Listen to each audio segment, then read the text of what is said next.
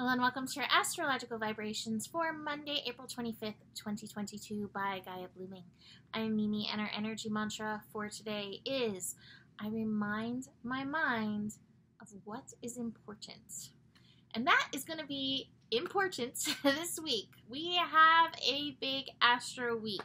Um, some some of it's feeling more supportive and some may be feeling a little bit more challenging. But I will remind you that the astro energies are always working for you to help you shift, grow, evolve. It's ultimately how you utilize these energies that matters. And that's kind of what I try to do in the scopes. And even in the readings I do, is like, how can we best utilize this energy? So, that being said, let's just take a glance at this week ahead. Um, so we're going to be moving into Dark of the Moon into our first eclipse of 2022. This first eclipse will be on Saturday. It is in the sign of Taurus. Um, it is a uh, partial solar eclipse. However, it's not whether it's partial or full that adds to the intensity. It is the connections, it is where it is in your chart. So do be aware of that. I will say that there will probably be worth and money stuff um, coming up as we build to this eclipse. So just be aware of that within yourself and do keep in mind there's more than enough love in the world for you. And love means money, it means food, it means actual love. Um, we do live on an abundant planet, and it's important to remember that and lean into abundance rather than fear. This doesn't mean don't be practical, but lean into abundance. lean into knowing we are all here, most of us, working together for good. so that's important. Um, speaking of not leaning into fear, we have Pluto going retrograde this week. So, most of the planets go retrograde at some point during a year or every two years. Uh, Pluto's no different with that. Pluto only moves a few degrees. Chances are you're really only going to feel this if Pluto's working your degrees. So Pluto's at 28 degrees Capricorn right now. If you have something at 28 degrees, you will be feeling it. It will retrograde back to 27 degrees. That is the United States Pluto return degree. Um, I believe it'll actually go back to 26. I didn't look. Uh, my handy dandy cheat sheet that I make at the beginning of the year. Now would be a good time to look. Why not? Pluto. Uh, yeah, 26 degrees all the way through October. So, um, but this is taking internal the transformation game.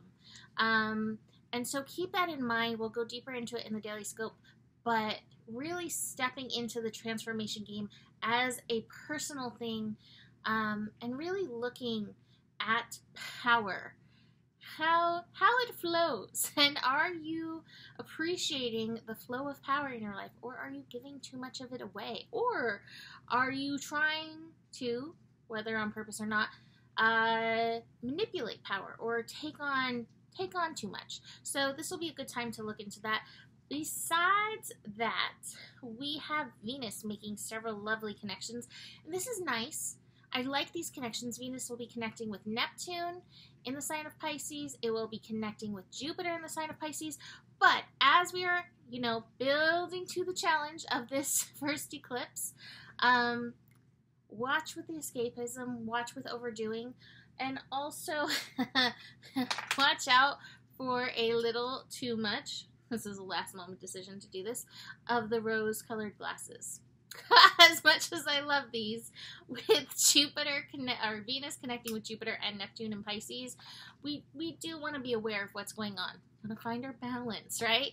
So watch the rose-colored glasses, especially if they are heart-shaped like mine. All right. So that being said, let's look at today's energy. Today is so much easier than this weekend. Those squares. Oh my gosh. It just felt so much like every hope flying away looking at reality versus versus the vision and yet saturn in aquarius these energies in aquarius the moon finishing up in aquarius through the early morning of today um, remind us that your vision is important. And as we have the moon moving into Pisces, joining Mars, Venus, Neptune, and Jupiter already there, keeping in the daydream. Um, holding space for some time of rose colored glasses is still important. Again, it's part of the balance.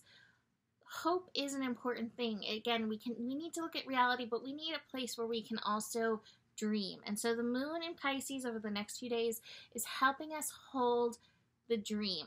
All right. So moon in Pisces, um, connecting to the sun, a sextile with the sun. We may be feeling some lazy cat. sun in Taurus, moon in Pisces energy. Take time to take it easy. Take time to allow the daydream. I, I often think that we get tired for reasons, and sometimes where it's like, oh my gosh, you just have to get out of your head. Today is it has some strong mental energy going on. So taking the time to use your illusion, to use that mental energy for support, um, for goodness, to connect connect with beauty, connect with the universe will be very good, very important. So if you lazy cat, like enjoy the daydream. Also watch for your dreams. Oh my gosh. because again, as we're moving towards the eclipse, the subconscious is like, "All right, bring it up, bring it up, bring it up. Let's process this stuff." Uh, we will have the moon and Mars conjunct 551 uh, p.m. Pacific time. Moon and Mars are always an interesting collaboration. My feeling is is that there may be some emotions coming up.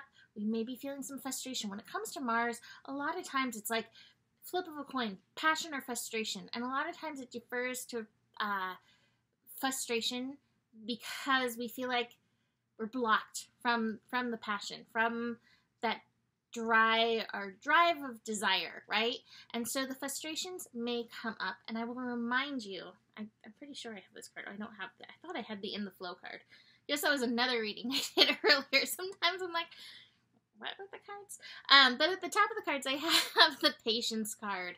Um, so we're definitely needing patience with this energy. And again, as we're building to the eclipse, Pluto retrograde, we have this adventure card. There are some things that we need to look at and face. Shake it out, shake it out, shake it out, right? Celebration card. I get by with a little help from my friends. Hard times require furious dancing. Pisces rules the feet, so dancing could be a really strong option in and through these energies.